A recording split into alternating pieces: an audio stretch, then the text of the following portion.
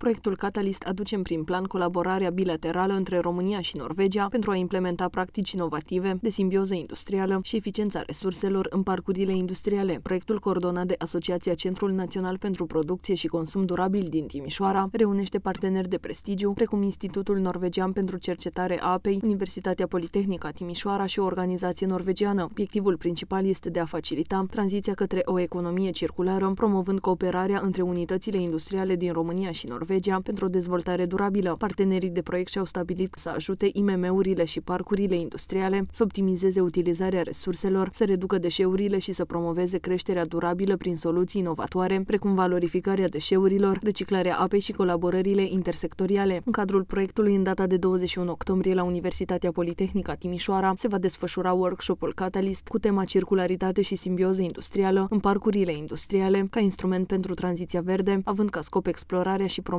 conceptului de circularitate și simbioză industrială în parcurile industriale și companii și oferirea de soluții inovatoare pentru tranziția către o economie verde și sustenabilă. Proiectul se așteaptă să genereze o îmbunătățire semnificativă a cunoștințelor și abilităților profesioniștilor din industria românească cu privire la eficiența resurselor și economia circulară, o rețea sustenabilă de colaborare între unitățile industriale din România și Norvegia, deschizând drumul spre noi proiecte și inovații verzi în regiune, dar și să creeze un nucleu de facilitatori pregătiți să implementeze modele de simbioză industrială în propriile organizații.